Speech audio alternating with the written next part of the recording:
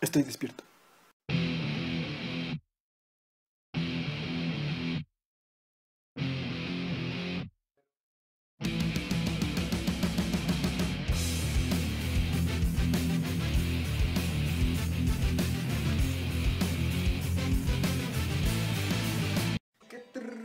Tranza la banda? Bienvenidos sean a este espacio de meditación donde la expansión de la conciencia es nuestro único objetivo. El día de hoy les venimos ofreciendo bonito videoblog para el niño para la niña. Así es, ya lo adivinaron, el tema de hoy es... Bienaventurados sean los que son como niños, porque de ellos es el reino de los cielos. La infancia es la etapa en la que somos seres auténticos. ¿Alguna vez se han preguntado por qué los traumas vienen de la infancia? Pues porque de niños actuábamos sin prudencia. Al tener poco conocimiento sobre el mundo, sobre los peligros y los sentimientos, actuábamos sin pensar en lastimar a los demás o incluso en lastimarnos a nosotros mismos.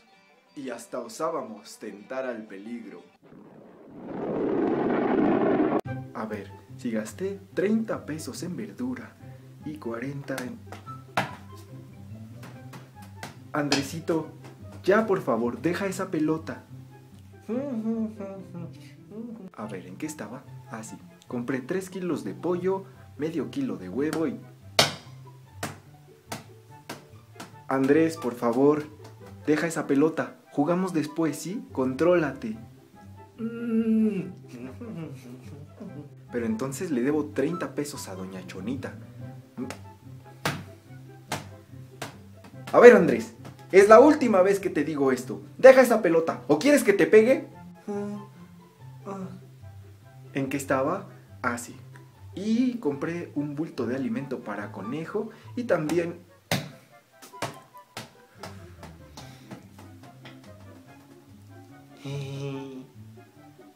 Te lo advertí, hijo de la chinga. Y no solo nuestras acciones nos metían en problemas, también así nuestro exceso de honestidad. Hola hermana, qué bueno que viniste a visitarnos. Sí, ya tenía ganas de venir a verte. Sí, qué bueno. Ah, mira, Juanito, ven a ver quién vino a visitarnos. Es tu tía Julia. Hola, mijito. Mm. Juanito, saluda. ¿Qué te he dicho que tienes que hacer cuando viene a visitarnos tu tía Julia? ¿Esconder la comida para que no se la coma la muy gorda? Eh, no, ¿de dónde sacas esas cosas? Eh, eh, lo que siempre te digo que tienes que hacer cuando viene tu tía Julia. ¡Ah! Que le diga que mi papá no está. ¡Ja! ¡Qué indignante! Mejor me voy. Hm. No, hermana, espera, espera. ¡Ah! Mira, mamá, sí trae la blusa que le prestaste. Hizo aguada, como dijiste con sus lonjas. Y es que los niños son como pequeñas esponjas. Absorben todo lo que les rodea. Y claro, lo van a aprender y lo van a imitar. Hace tiempo yo trabajé en un call center en el área de cobranza. Y algo que nos pasaba muy seguido era lo siguiente. Este, bueno, Hola, ¿qué tal? Buenas tardes. ¿Se encontrará la señorita Patricia Raimunda? eh, sí, ah, ella habla. ¿De parte de quién? Sí, mire, le habla Mario Troyano Laborato, asesor financiero del área de cobranza del banco Bancochón.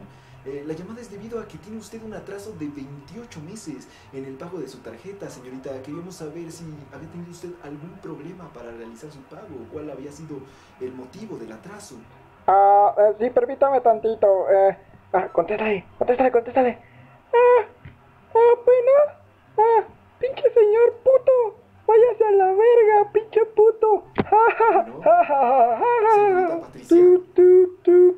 Ah, pero luego los niños crecen y las mamás se preguntan, ¿por qué mi hijo es tan malo? Hijo, ¿dónde estabas? ¿Que no ves que ya son las 3 de la mañana y todavía no he dormido nada? Pero qué clase rumba, papá, pa, la que yo cogí anoche, que, que, que, no recuerdo lo que sucedió.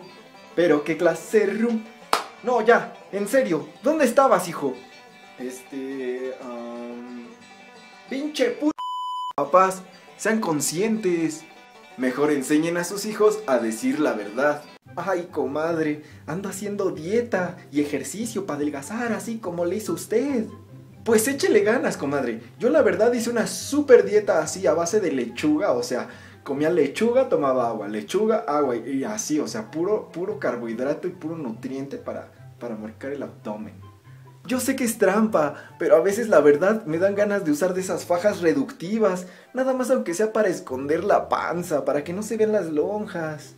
Ay no, o sea, eso sería falta de compromiso. O sea, yo incluso contraté a un super instructor australiano que me ponía unas mega rutinas así para quemar grasa o sal bruto.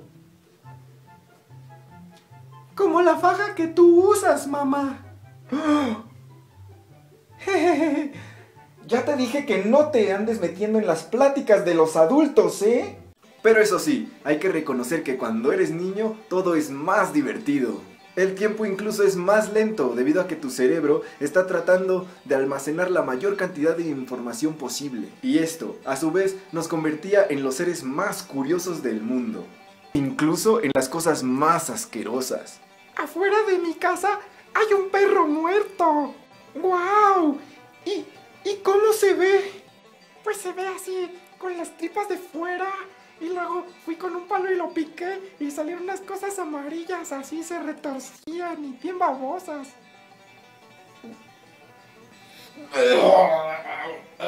Y entonces, como les decía, para comprar un Mustang hay que tener dinero.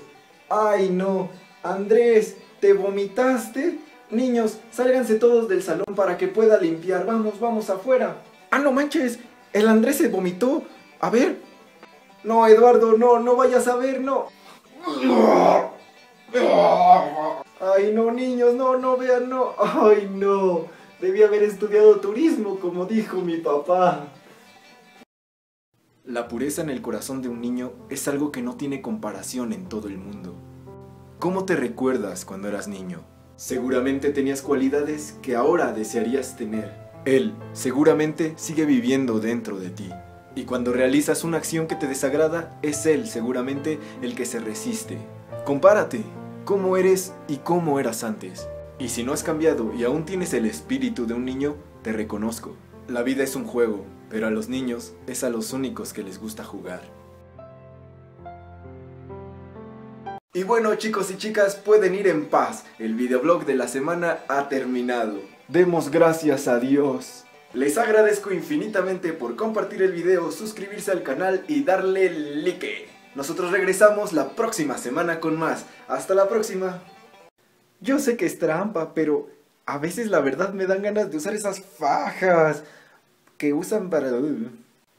Yo sé que es trampa, pero a veces la verdad me dan ganas de usar de esas fajas reductoras, aunque sea nada más para escoger, esconder... ¡Oh, no puedes! También compré un kilo de pollo, compré 3 kilos de huevo y